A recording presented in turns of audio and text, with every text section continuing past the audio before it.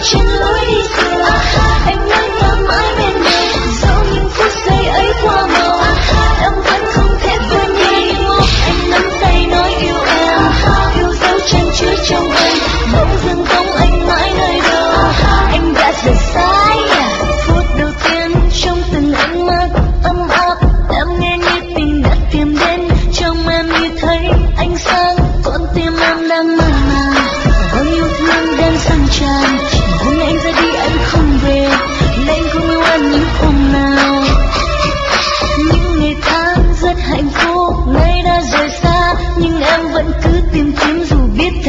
và mãi mãi chờ anh. Nhưng anh đã bước đi